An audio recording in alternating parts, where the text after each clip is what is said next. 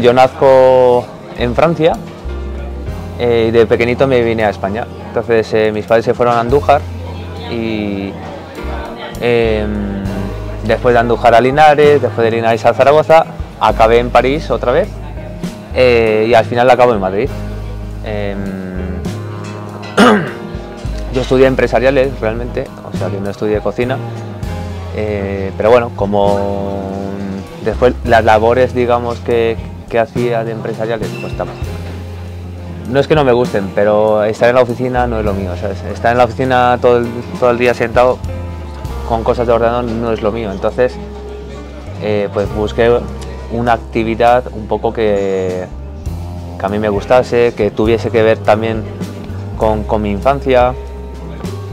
Eh, claro, y a mí me gusta eh, mucho pues comer. Entonces, bueno, dije, si no me van a pagar por comer, pues tendré que cocinar. Entonces, así es como yo empiezo eh, eh, con el tema de la cocina y eso. Previamente ya, ya había trabajado en cocina, pero nunca lo había visto como un trabajo que iba a ser, porque eh, no, no, no estaba, para mí estaba descartado realmente. O sea que después yo estuve con, un chef que, se llama Masaya Ohama, que está ahora em, en el otro mundo. Em, cuando empezó hace muchísimos años en Robata. Robata era un típico japonés de, calle de la Reina que creo que ahora está no me, no, acuerdo qué restaurante está, pero hubo un momento en que todo, todo en esa calle está lleno de restaurantes japoneses, creo ahora. Eh, después en Ginza, después estuve en varios restaurantes asiáticos en Nisu, por decirlo de una manera. Em, y acabé, el, el, último restaurante que estuve fue La Candela Restó, antes de que consiguiesen una estrella, porque después, después ellos cerraron, pero yo ya había abierto mi proyecto. Y, nada, y así es. es ha sido un poquito la trayectoria hasta, hasta, hasta Ikigai, ¿no? Después pues, está el otro Ikigai, que es el, el, original, ¿no? Y después este, que lo abrimos hace dos años.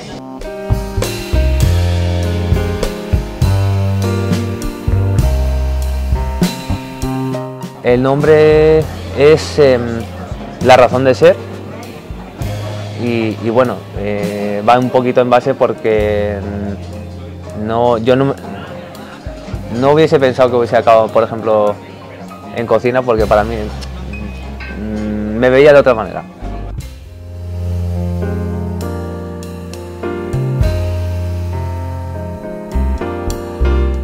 Nosotros lo que hacemos es una base de cocina japonesa que después vamos mezclando con, con cosas españolas, eh, y francesas sobre todo, pero que mm, ahora estamos, por ejemplo, intentando mezclar más otras partes del mundo, ¿no? Eh, sobre todo por no limitar lo que es la creatividad.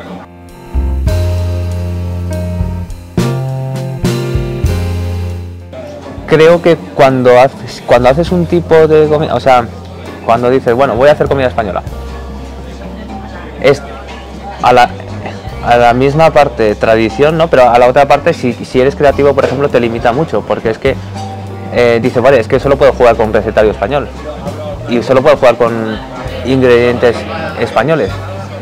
Em, eso también hace falta, o sea, mm, al final tú abarcas todos los ingredientes que pueda haber, por ejemplo, en España, y, pero al final te limita a, la hora de crear, ¿no? Eh, si, si abres más, digamos, eh, países, puedes jugar con más ingredientes.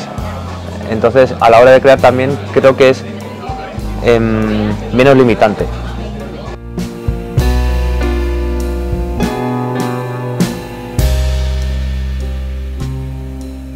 Son platos que no te vas a encontrar en, otro lado, eso 100% seguro, porque al final son platos que hemos creado nosotros eh, aquí, ¿no? Em,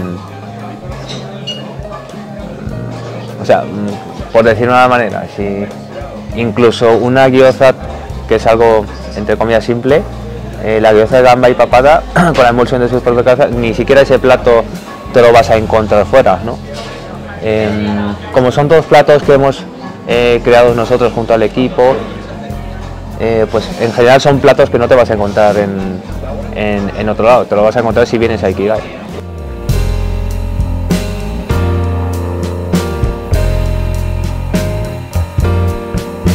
La coroque con cecina de guayo yo creo que es un imprescindible.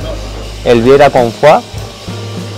Eh, el bunkan de té verde y whisky y whisky, eso lo tienen que probar porque es súper especial además. El, el croissando y te diría que el temaki, porque el temaki aquí eh, el alga sale súper crujiente y lo, lo deberían probar. Si no te gusta, de hecho, el temaki, deberías probar el temaki.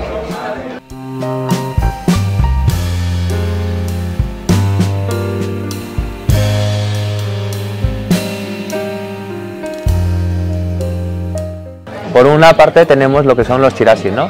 En este caso tenemos chirashi de salmón, uno mixto y eh, uno de atún, eh, al cual le puedes añadir eh, unos extras, ¿no? El chirashi, para que la gente lo entienda, porque yo creo que la gente no sabe lo que es un chirashi. el chirashi es el padre, digamos, del poke. Lo que viene a ser el poke hawaiano proviene del, del donburi, que, que es japonés. Entonces, como hay un, como en, en, Hawái, digamos, hay mucha inmigración japonesa, eh, pues se hicieron una fusión de mezclas de, eso y, de ahí sale, digamos, lo que es el, el poke. Entonces, nosotros lo que hacemos es una propuesta eh, súper sana, porque al final es proteína y arroz. Y es que em, no, no hay salsas, digamos, que pues rollo una mayonesa o cosas de estas que digan, hostia, es que eh, era todo muy sano, pero me metes la mayonesa y es. La, la mayonesa ya no es tan sano, o sea, a nivel calórico sobre todo.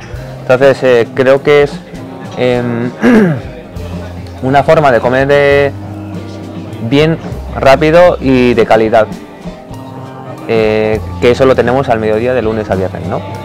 después tendríamos las Yakitori Night, que son todos los jueves, aquí hacemos eh, música en directo y eh, sacamos unos, unos yakitoris. En este caso tenemos tres sabores diferentes que iremos cambiando eh, con el tiempo. ¿no?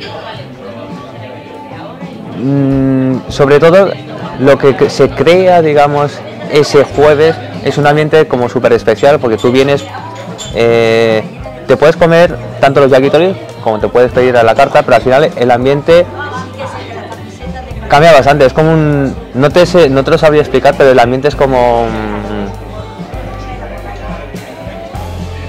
No sé, no te molesta a la hora de comer, pero a la, misma vez es como súper animado, ¿sabes? O sea, pero tú puedes estar hablando y, tener una, una conversación como súper normal y a la vez el ambiente está como súper guay.